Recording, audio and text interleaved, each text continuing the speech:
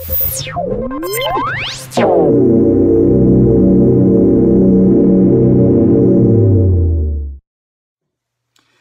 morning! If you're looking for a foolproof, guaranteed way to get through to someone, consider a time-tested approach. Send a postcard. That's right, a postcard. You see, postcards have a 100% readership. They require no work on the recipient's part.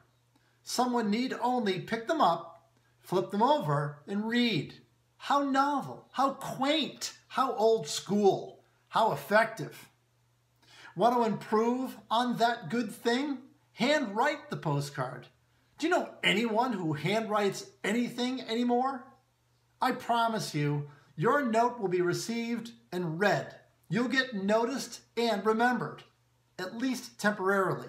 So you'd better pick up the phone and call to follow up. What do you write?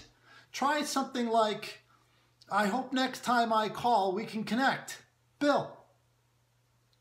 Where does a postcard fit? That is, when is the right time to send it?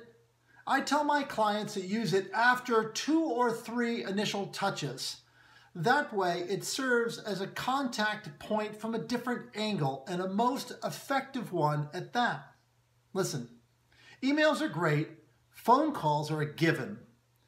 But as crazy as it sounds, a postcard cuts through all of the barriers and obstacles and makes it into the hands of the desired party. Oh, and then there's the added bonus of actually using our own products and services. After all, we are in the print and or mail business.